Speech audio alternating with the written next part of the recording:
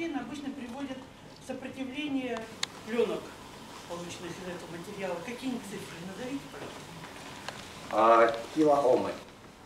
А, ну, геометрию какую-нибудь, это что, удельно, что это? А, Мы смотрели, а, а, да, да, а, делали пленочки из оксида графена, вот о которых я говорил, А, термически восстанавливали. А, Сопротивление, которое получается, это 10 килоом на квадрат, на 1 сантиметр. Здесь очень много контактов на такой площадке.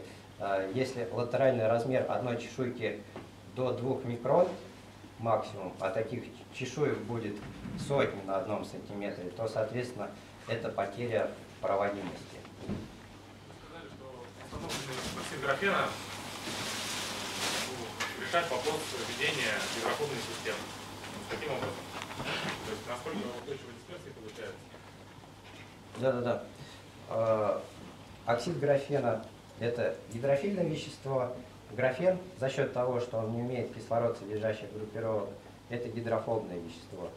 И мы провели достаточное количество экспериментов, в которых показали, что дисперсия оксида графена устойчива в гидрофильных растворителях, дисперсия графена устойчива в гидрофобных растворителях.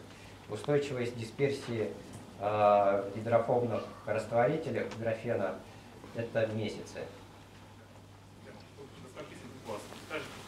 А что, что, какая вязкость Ну, интересует? вязкость системы, например, гидрофобной, там, либо это какие-нибудь вы берете растворители там, гидрофобные, либо это э, идут если высоковязкие, там, смолы или что-то подобное, принципиально.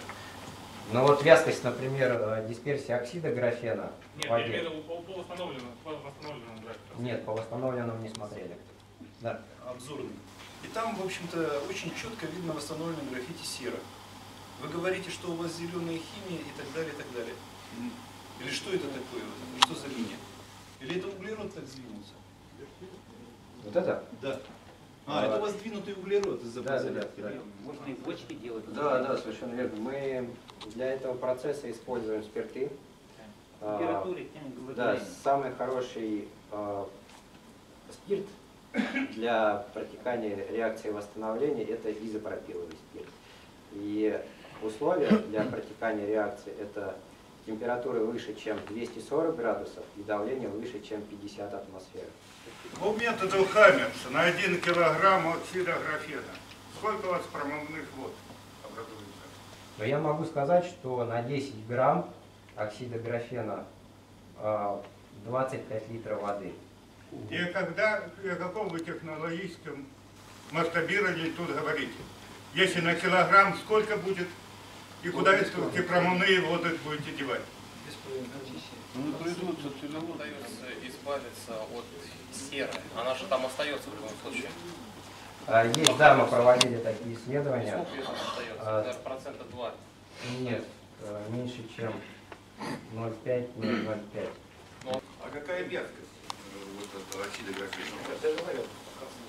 Как- Вернее, какая концентрация? Концентрация Да, дисперсии да. э, в воде делаем э, до 7 миллиграмм на миллилитр. Семь миллиграмм. На, на миллилитр? На миллилитр.